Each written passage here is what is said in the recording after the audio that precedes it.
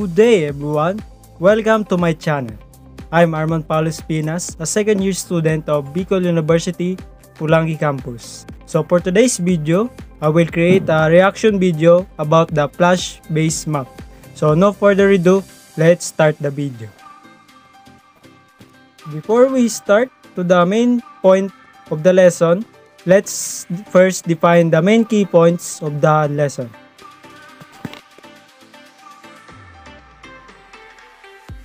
First is map.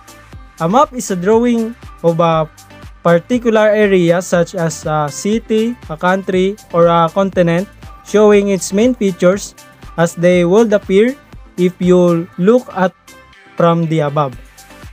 Maps is a very special tools for adventure and to locate the best quality features among the regions.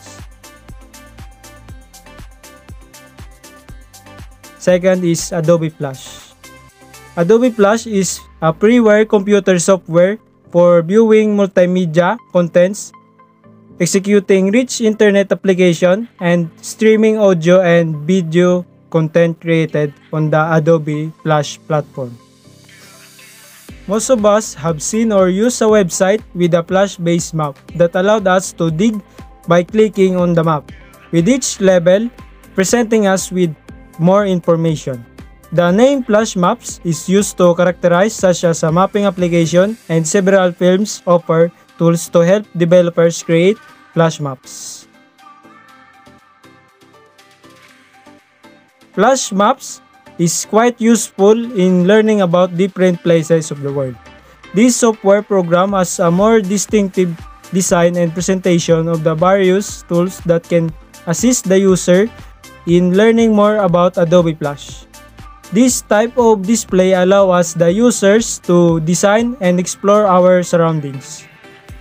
This set of mapping styles can assist us in learning about culture, language,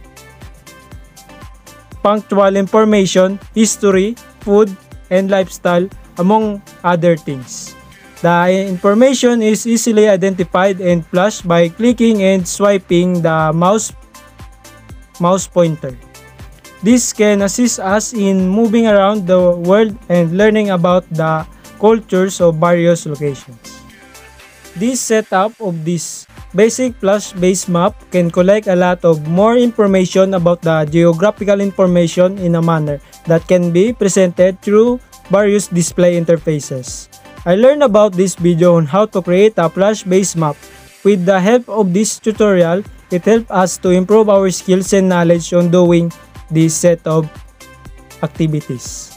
For myself, I didn't also know on how to use this Adobe Flash software application. And with the use of these different tutorials in YouTube and other platforms, it will give us a technique and information to do a detailed file in Adobe Flash.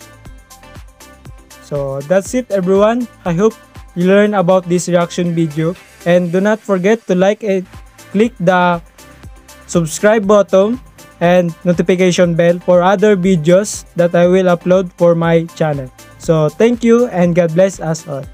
Mabuhay kayong lahat.